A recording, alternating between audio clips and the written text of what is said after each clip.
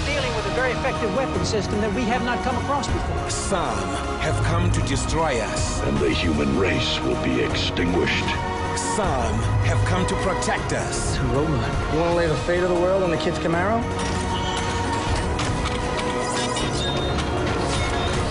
That's cool. Transformers, tonight at 8 on E!